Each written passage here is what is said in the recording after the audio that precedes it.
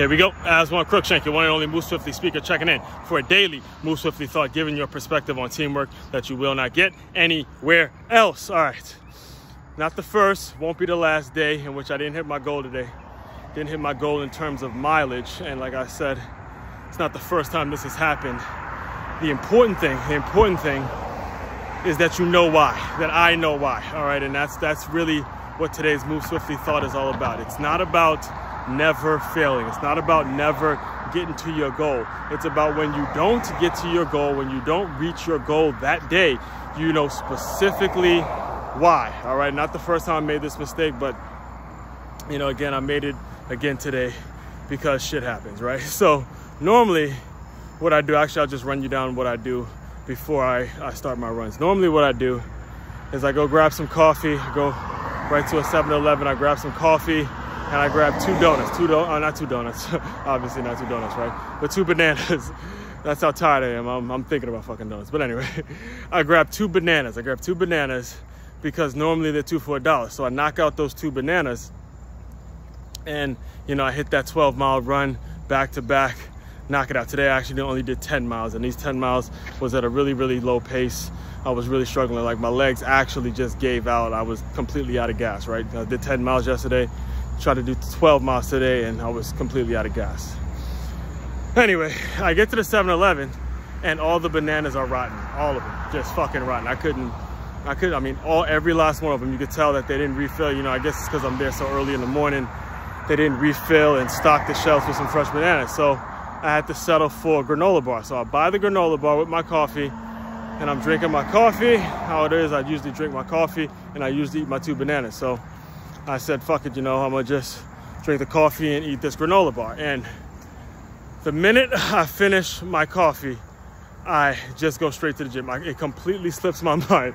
I swear, it completely slips my mind to eat the granola bar. So I'm feeling good. I lifted today. I lifted, but today's one of the days in which I lift before I run. Did a couple upper body things, did some abs, got a little stretching, and then I attempted my 12 miles. And it didn't hit me until around mile eight, I'm like, oh shit. Because I, I, was feeling it, you know, I was feeling it. I was like, man, what's, what's up with me today? I'm feeling kind of sluggish. And it didn't hit me until mile eight that I realized, oh shit, I forgot to eat the granola bar. I forgot to eat it. So I'm like, you know, fuck it. I gotta thug it out. You know, I ain't, I ain't gonna be no pussy. I ain't gonna be no bitch. I'm gonna finish this thing out. So I'm going, I'm going, I'm going. I mean, I wanted to stop literally at mile seven, I swear. I wanted to stop at mile seven but I threw on some of that God did with Jay-Z, DJ Khaled, Lil Weezy. I think Ross is Ross went on that track too. and it took me from mile eight to mile 10.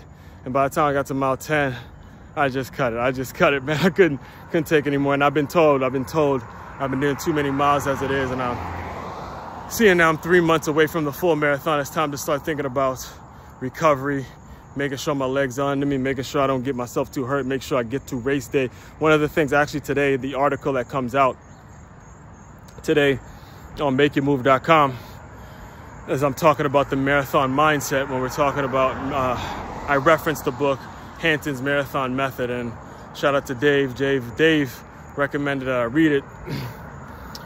And one of the main takeaways from that book was, you know, make sure your adrenaline doesn't get the best of you and make sure you make it to race day 100% healthy. That's really the challenge because the training to run a marathon is so absolutely treacherous. It's a lot.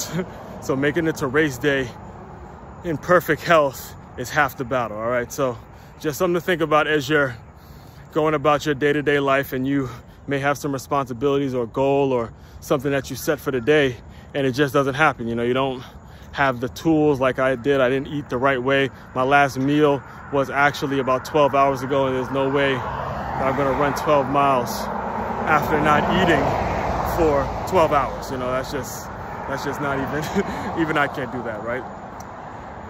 So take my struggles, take my mistake, use it to your advantage, use it to something in which you can do to make yourself better and make yourself a little more valuable to your organization, and to your family, to whatever it is you're passionate about, all right? Main website to check out, like I mentioned before, makeyamove.com. That's M-A-K, M-A-K-E-Y-A-M-O-V-E.com. one-stop shop for all your teamwork and your self-development needs. Aswand Cruickshank, your one and only Move Swiftly speaker checking out. You guys continue to move swiftly. We will talk more soon.